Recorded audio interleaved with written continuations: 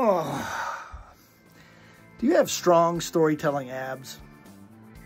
I'm not talking about the kind here. I'm talking about the core of your story, strong storytelling abs upon which the entire story is built. You're not sure? Stay tuned.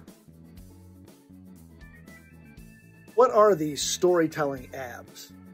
ABS is an acronym for and, but, so. For this video, we'll focus on the and part of the story.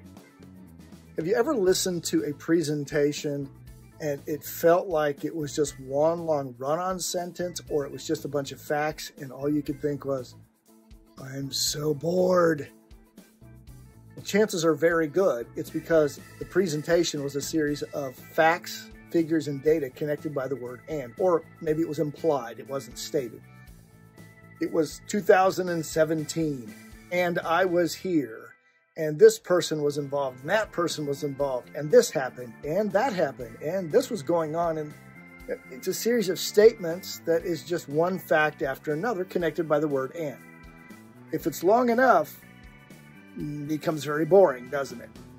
If that's all you're going to present in your talks, put it on a PDF and send it out. Nobody wants to hear that. That's not a story. With that said, it is important that our stories do give context and a setup.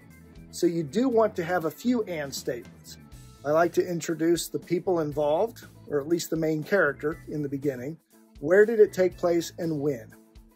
And that's it. You don't need a huge buildup. You're not writing a novel, you're creating a meaningful and memorable story.